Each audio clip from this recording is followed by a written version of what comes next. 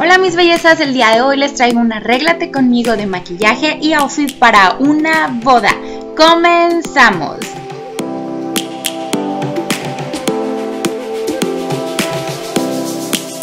Ya traigo mi carita limpia, llena de crema y aceitito de coco para comenzar el maquillaje. Y voy a empezar con mis ojos porque como es un look ahumado y en tono negro, pues no quiero que se me manche el maquillaje.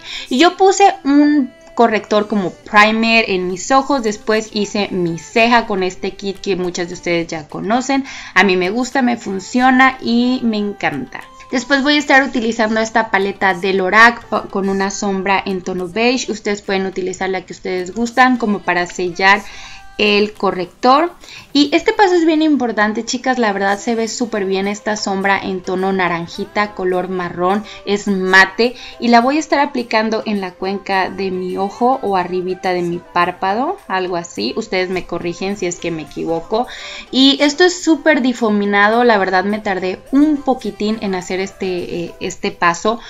Pero pues obviamente en el video no se ve después voy a estar utilizando este color café que es en tono mate y lo voy a estar aplicando con la misma brochita que apliqué el naranjita. Esto hace que se vea súper bien y que se vea un difuminado muy muy bonito Después utilicé este crayón de la compañía New York Company, creo que así se llama. La verdad no pinta muy bien, les recomiendo que se compren el de NYX, es mucho mejor. Pero pues yo no lo encontré, así que utilicé este. Después agarré una sombra negra mate también. La puse arriba del crayón y después con esa misma brochita lo difuminé.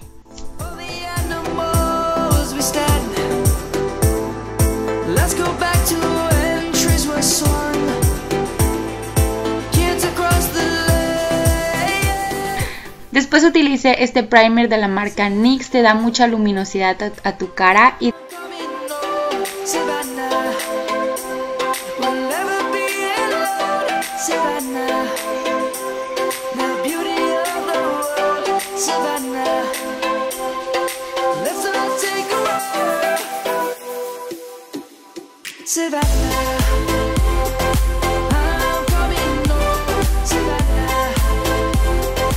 Este corrector, chicas, es lo máximo, es de Maybelline. La verdad me dio muchísima luminosidad a mi cara, era lo que estaba buscando. Yo no sé dónde estaba, yo no sé por qué no lo había comprado. Me encantó, en las fotos retrató muy bien, era lo que quería. A mí me... No, no, no, yo estoy enamorada, enamorada de este corrector. Para hacer las sombras en mi rostro, el contorno, utilicé esta base que siempre utilizo, es de Maybelline, es como una base color oscura y pues a mí me funciona muy muy muy bien, es cremosita y a mí me da pues lo que necesito porque pues mi piel es muy seca.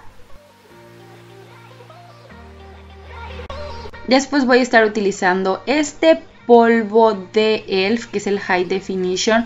La verdad, chicas, me puse lo que viene siendo el horneado y ahora sí no me lo quité rápido aunque mi piel es seca necesitaba que mi maquillaje estuviera perfecto y que durara la mayor parte del tiempo que reflejara y fotografiara muy muy bien y lo logré chicas lo logré estaba sorprendida sorprendida del resultado también utilicé estos tres rimers que pues dos los utilicé para la parte superior y uno el de Maybelline para las pestañas de abajo. Ya que di tiempo a que se sellara muy bien este polvo, lo quito y pues paso un poquito la brochita por otras partes para que ahí se selle todo, todo muy bien. Utilicé esta paletita para hacer los contornos en polvo porque quería que se viera súper, súper marcado mi contorno, mi maquillaje. Chicas, yo no quería nada sencillito, yo quería que se viera que estaba maquillada, que estaba súper maquillada, yo me quería ver así.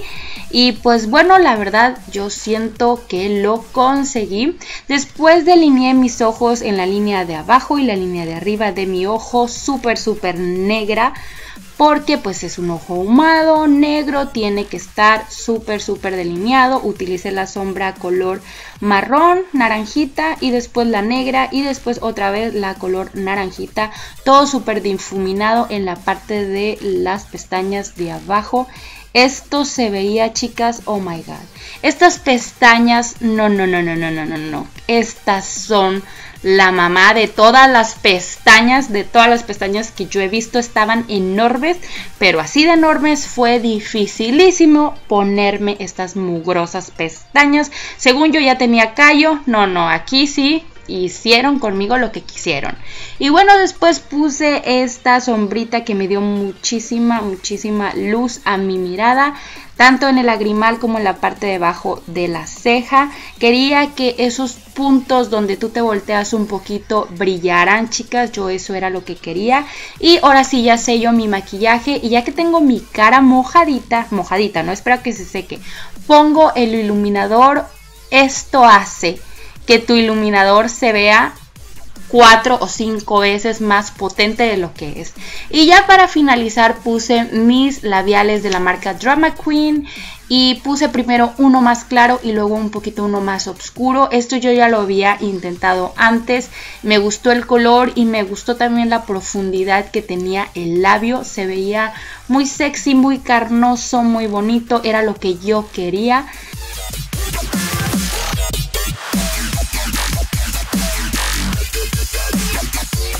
Y pues ya para finalizar, chicas, me faltaban mis uñas, fueron de la marca Kiss. Y les juro, les juro que grabé mi peinado. Pero, chicas, borré accidentalmente el clip porque mi hija estaba muy enferma y yo estaba editando muy rápido el video, chicas. Así que les pido una disculpa. Pero me hice los chinos como siempre con las tenazas así como de choricitos. Nada más que me los dejé mucho más tiempo, alrededor de 60 segundos.